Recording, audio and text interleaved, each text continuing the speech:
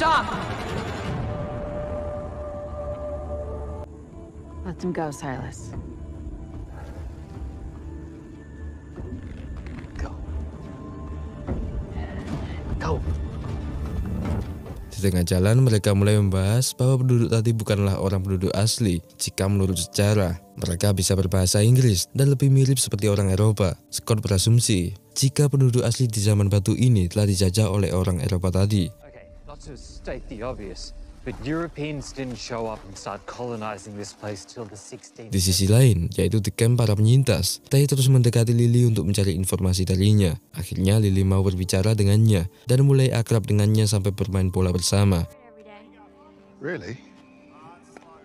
He used to coach my softball team. Namun ketika Veronica datang, Lily kembali ketakutan, lalu pergi menuju ke Veronica.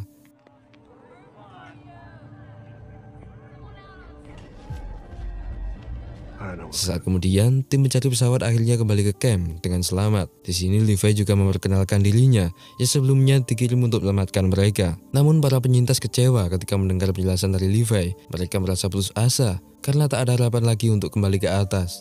Better news. So that's it. We're stuck here. However long it takes.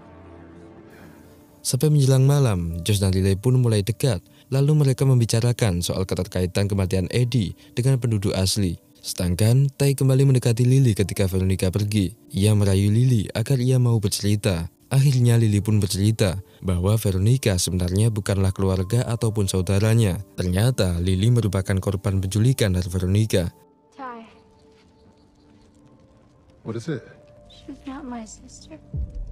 Ketika itu Veronica kembali lalu memperkoki obrolan mereka dan ia pun langsung pergi ketakutan. Veronica. Veronica! Kembali ke Kevin yang sedang berencana untuk terbang. Di sini ia takut jika penerbangan ilegal ini diketahui oleh pemerintah dan tentunya mereka akan dihukum karena melanggar aturan.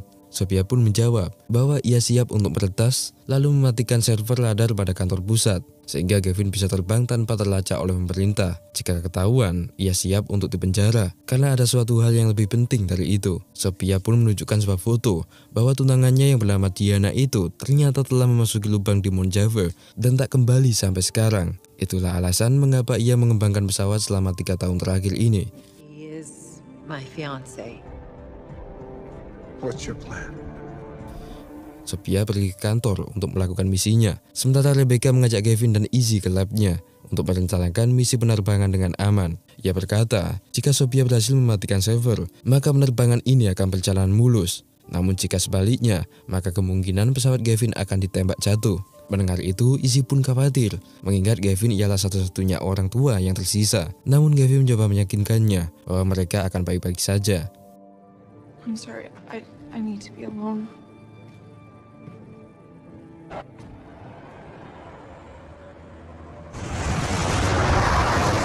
Sementara itu, rencana Sophia ternyata telah diketahui oleh Adam, dan ia pun dicegat olehnya ketika akan memasuki kantor. Di sini, Adam pun terus menanyainya soal keberadaan Kevin.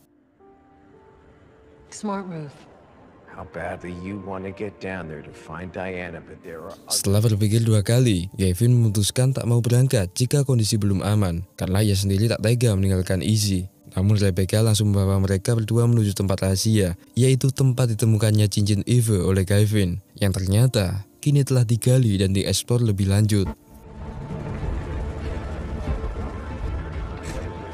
Rebecca juga menunjukkan benda-benda modern yang terbubur dari zaman purba, dan benda itu diduga milik para korban yang masuk ke lubang. Yang lebih mengejutkan, ia menemukan botol kaca yang berisikan surat yang telah membusuk.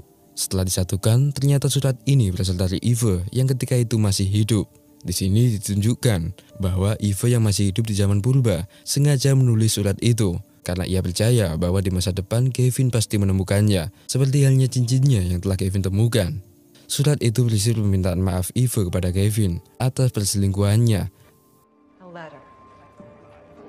When my team found it, the letter was in fragments, but Eve juga menulis bahwa ia telah menyesal dulunya telah meragukan penerawangan Kevin. Ketika itu, Eve memasukkannya ke dalam botol kaca agar suratnya tetap terjaga sampai 10.000 tahun ke depan. Tonight, Sekarang Kevin memutuskan untuk siap melakukan penerbangan setelah membaca surat itu. Rebecca juga berkata jika portal cahaya di lubang itu akan segera tutup seperti halnya lubang-lubang tiga tahun yang lalu. You have to.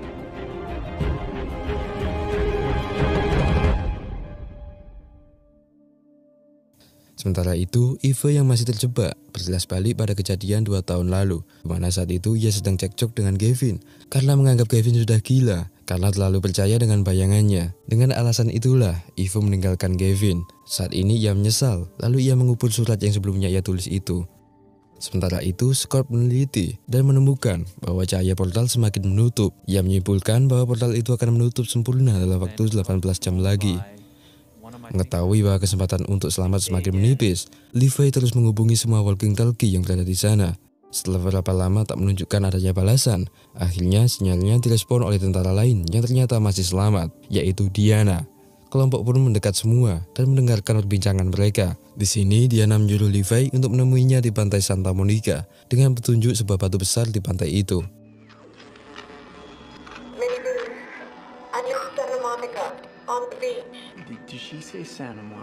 Akhirnya Levi dan Eve memutuskan untuk berangkat saat ini juga dengan menggunakan jeep yang masih bisa digunakan.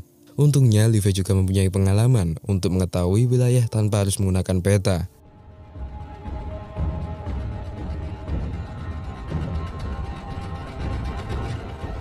Singkat cerita, mereka pun sampai di wilayah Santa Monica pada esoknya. Lalu mereka menemukan batu yang dimaksud oleh Diana. Setelah mendekatinya, mereka menemukan bangkai pesawat dan sesaat kemudian Diana pun muncul.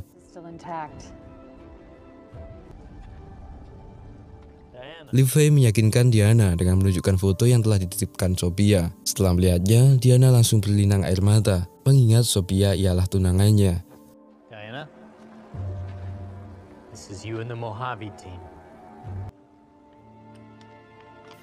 Levi bertanya mengapa Diana bisa berada di Los Angeles, padahal ia seharusnya jatuh di daerah Monjave. Diana pun menjawab bahwa tiga tahun yang lalu ia masuk melalui lubang di Monjave.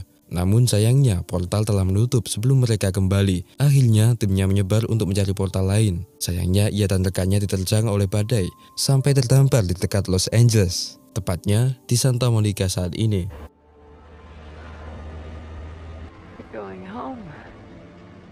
Diana sempat melihat pesawat Levi yang jatuh, sehingga temannya mencarinya, namun ia tak kembali sampai sekarang. Levi pun menjelaskan bahwa ia telah menemukan mayat temannya itu yang telah dibunuh oleh penduduk setempat. Selanjutnya, Levi meminta bantuan Diana untuk memperbaiki pesawatnya. Untungnya, walaupun pesawat Diana juga rusak, namun paling-paling kanannya masih utuh dan bisa dimanfaatkan untuk menggantikan paling-paling pesawat Levi.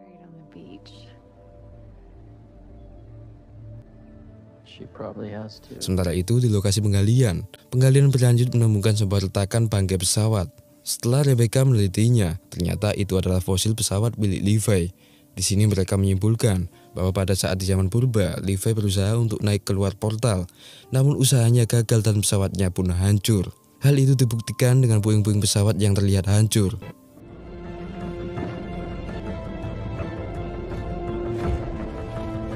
Gavin pun khawatir jika para korban akan menaiki pesawat itu lalu gagal. Maka dari itu ia memaksa Rebecca untuk segera mengirimnya ke sana untuk memperingatkan para korban. Namun ketika berangkat, Adam langsung menahan Gavin untuk mengagalkan misi. Akhirnya, Gavin, Rebecca, dan Sophia kini diisolasi dan dipantau kerak-keriknya. Finally, where have you been? Working on a way to get you out of Gavin pun panik dan berupaya mencari cara lain untuk memperingatkan para korban agar tak mencoba untuk terbang. Dan pada akhirnya ia pun mendapatkan ide.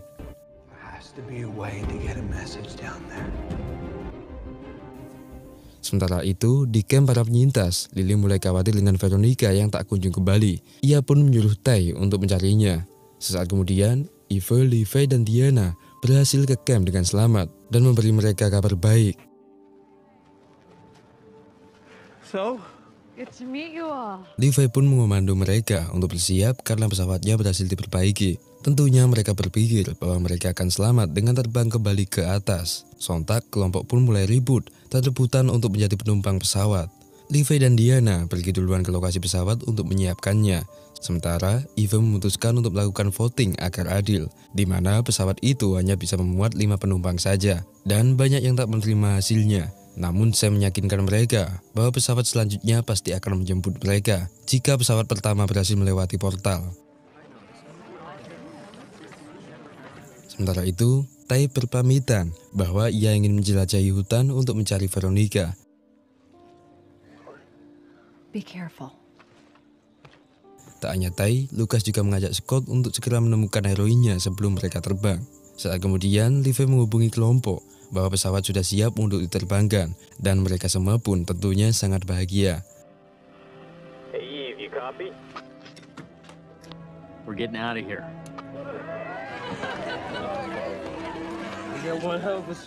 Namun sesaat kemudian, portal cahaya itu kembali bergetar dan menjatuhkan benda mirip brudal. Setelah semua kelompok mengambilinya, ternyata itu ialah roket kecil yang membawa sebuah rekaman video. Rekaman ini berisi Gavin di masa depan yang menghimbau para korban untuk tidak menaiki pesawat.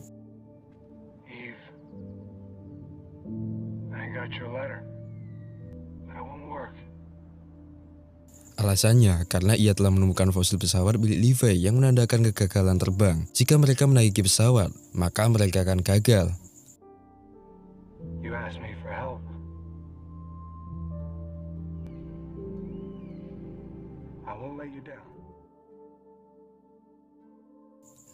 Setelah melihat video itu, mereka pun mulai berdebat, di mana Eva mencegah mereka untuk terbang. No, that's still too big of a risk. I just want to get home. we all want to get home. I'm sorry. Semua pun emosi karena mereka sangat ingin selamat. Akhirnya banyak yang tak percaya dengan peringatan itu. Namun Sam pun langsung meredam suasana dengan menyuruh kembali para korban terlebih dahulu. Years. Everyone I came with is dead. I'm not staying another day. You drive them. We'll meet you back at the clearing with the first group. Di sisi lain, Tai akhirnya menemukan Veronica yang sedang sedih di makam ayahnya. Namun Veronica menolaknya karena ia tak ingin masuk penjara atas penculikan Lily. Di sini Veronica juga menjelaskan bahwa dirinya juga korban penculikan. Namun berkat ia diculik, hidupnya menjadi lebih bahagia. I just want you to come with us. Then what? Huh? I go to Tai menjelaskan bahwa ia yakin jika keluarga aslinya masih mencarinya. Dengar itu, hati Veronica pun luluh. Lalu ia setuju untuk kembali. Namun ketika Tai lengah, Veronica dengan cepat memukulnya sampai pingsan.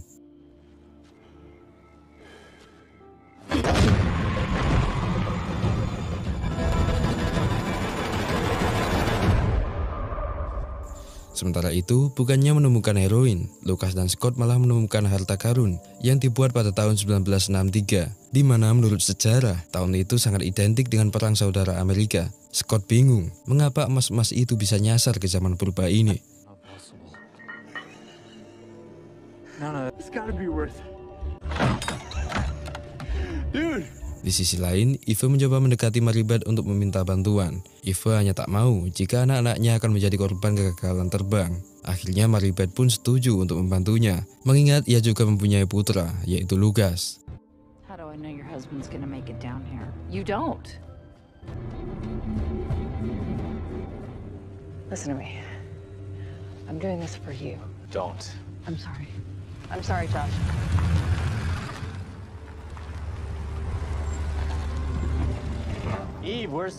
Mereka pun mengambil pesawat untuk menemui Diana dan Levi. Namun Maribeth keburu mengeluarkan pistol untuk mencegah mereka. Diana yang sangat berharap ingin selamat itu langsung memakai pistolnya untuk menembak Maribeth. Untungnya peluru meleset, namun malah mengenai badan pesawat dan merusaknya.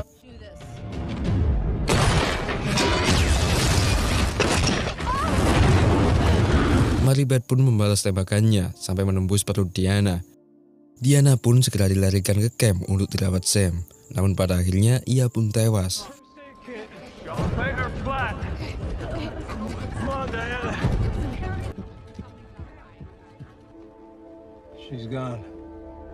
Tepat saat itu, Scott dan Lucas kembali. Lalu mereka mendapati kabar buruk bahwa pesawat telah hancur karena tembakan. Sontak semua kelompok pun menyalahkan Maribeth dan Eva bahwa kesempatan terakhir mereka akhirnya gagal. Sontak Josh pun membenci Eva, begitu juga dengan Lucas yang membenci Maribeth. Plane's not going anywhere. We didn't want this to happen. None of this would have happened if you two hadn't tried to Sementara itu, Gavin dan ketiganya akhirnya menerbangkan pesawat dengan ditumpangi oleh Rebecca dan dipiloti oleh Gavin. Adam yang mengetahui bahwa Gavin telah melanggar aturan langsung OTW ke rumah Rebecca untuk menyita pesawatnya. Namun setelah sampai, mereka dihadang oleh Izzy dan Sophia.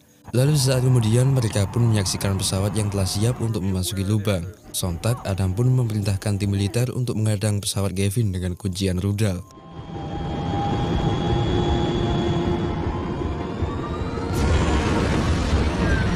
Awalnya Gavin tetap bersikukuh untuk terus mengemudikan pesawat, namun Izzy mendadak memintanya untuk mendaratkan pesawat sebelum pesawatnya ditembak jatuh oleh tim militer. Peringatan itu membuat Gavin dan Rebecca down, sehingga pada akhirnya Rebecca berniat menjatuhkan dirinya bersama parasutnya. Sebelum menjatuhkan diri, Rebecca sempat menyuruh Gavin untuk mengingat sebuah peristiwa penting pada tanggal 16 November 1988 yang merupakan cara lain untuk menyelamatkan para korban.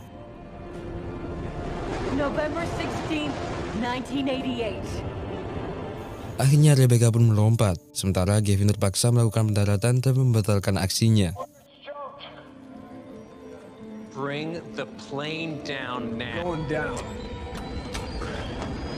Dad? Setelah mendarat, Gavin langsung diborgol dan bertatap muka dengan Adam. With your sister. Di sini ada mengatakan bahwa ia sudah mengambil alih tempat penggalian fosil. Lalu ia mengatakan bahwa fosil pesawat milik Levi tadi tiba-tiba menghilang. Mendengar itu Gavin pun lega bahwa itulah tandanya ia berhasil memperingatkan para korban di zaman purba. Sementara itu, para korban akhirnya putus asa karena mereka sudah tak ada harapan lagi untuk selamat dengan menatap lubang portal yang semakin menyempit.